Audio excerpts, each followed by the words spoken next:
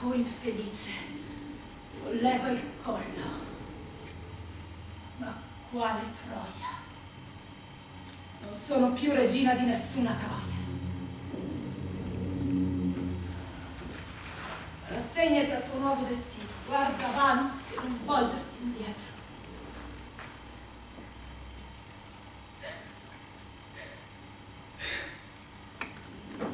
Che cosa qui non dovrebbe versare per me lacrime, dopo perso marito e figli e patria. Col grande prestigio degli avi sei scomparso, non sei valso a nulla.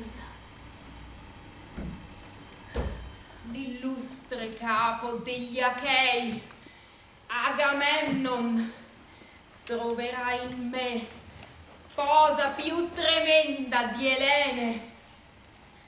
Ucciderò lui e perirà la sua casa. Così mi renderà conto dei fratelli e del padre. Ma giacché la tua mente non è solida, lascio al vento le tue lodi ai frigi e i biasimi agli argivi. Seguimi sulle navi, compagna di letto amabile per il mio signore. Non vedete come giace stremata a terra la padrona? Non lasciatela qui, non abbandonate. Se ne trovate delle ragazze in piedi. Lasciatemi.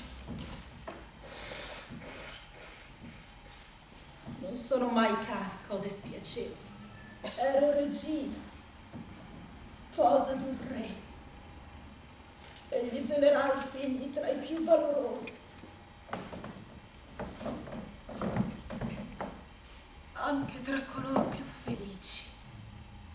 Nessuno può mai dirsi beato prima d'essere morto.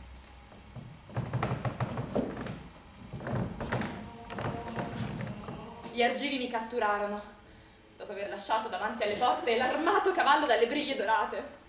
Io stavo celebrando con danze attorno al palazzo, la Vergine dei Monti, figlia di Zeus, quando un urlo di strage prese le sale di Troia.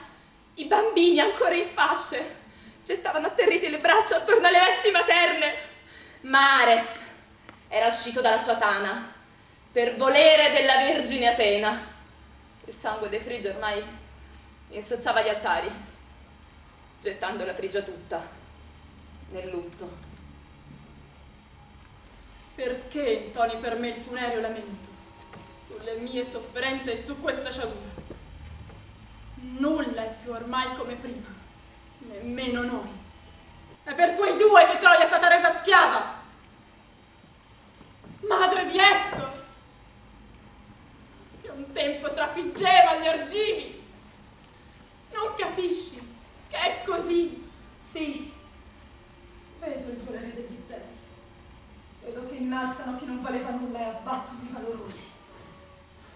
Io e mio figlio saremo deportati e noi, i nobili natali, ridotti in schiavitù. Con noi il destino è stato implacabile. Da poco mi hanno strappato anche Cassandra. Sotto i miei occhi l'hanno portata via. Anche tua figlia Polixena è morta. Sul tumulo d'Achilleus, offerta per un cadavere. Dei, questo che mi dici l'avevo intuito poco fa. E dimenticherò il mio amato Hector, lasciando che il nuovo compagno penetri nel mio cuore.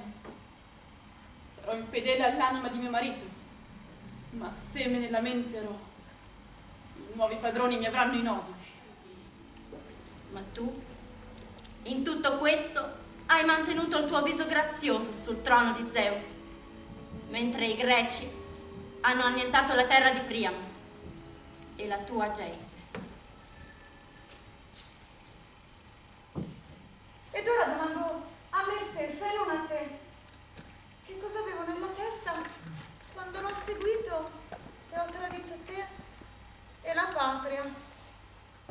Menelaos, sii degno erede dei tuoi antenati, del tuo casato.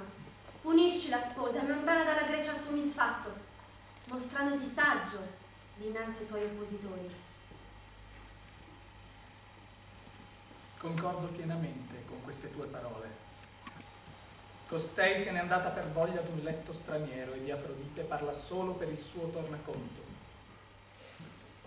Oh Zeus, che stai nelle sale celesti, non vedi questa città devastata, rialta dall'impronta delle fiamme? Hai lasciato nelle mani degli Achei il tempio di Ilio, la sua rocca divina. Piangete sulle spoglie di Astiana che giungono qui dopo che gli Achei l'hanno gettato dalle mura. Sono la nave. Neoptolemos, figlio d'Achilleus, è salpato. Con lui Andromache. L'ho accompagnata in lacrime, mentre anch'ella piangeva e diceva addio alla patria e alla tomba di Hector. Ma ha implorato perché dessi sepoltura al figlio del tuo Hector. Lei desidera che sia sepolto qui e alle tue mani affida il corpo, perché tu lo avvolga in corone e sudai, per quanto ti sia possibile.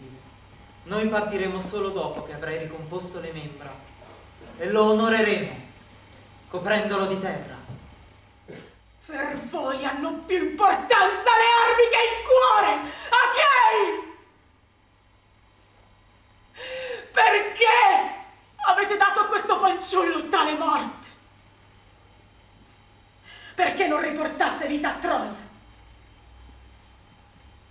Ma se non vi riuscimmo neppure quando la fortuna arrideva alle battaglie d'Hector, morivamo comunque a migliaia.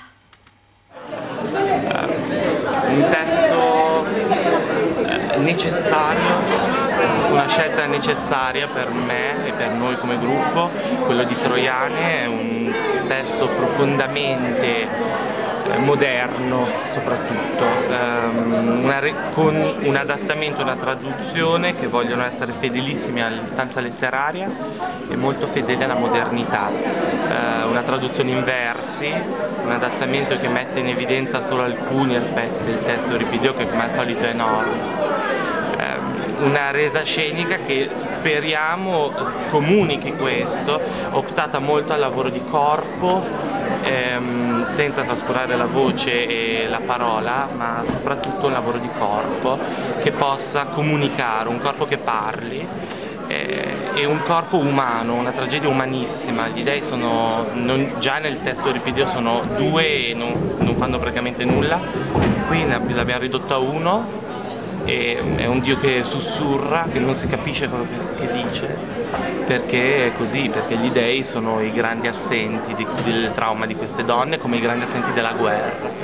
Questo per me, proprio personalmente, è un- o il canto del cigno o il nuovo vagito, nel senso che lavorare con attrici professioniste per la prima volta, un teatro bello, dopo il debutto che abbiamo fatto a ottobre a Milano al Teatro Arsenale, speriamo, speriamo di poterlo portare in altre, in altre piazze più importanti. Dovevamo già essere al Teatro Almetto che è vittima di tagli dei fondi, purtroppo ci ha dovuto cancellare. Ehm, speriamo di poter trovare un luogo anche più adatto per un testo che sicuramente di cui si può dire molto, ma di cui tutti riconoscono l'ampio respiro e la monumentalità.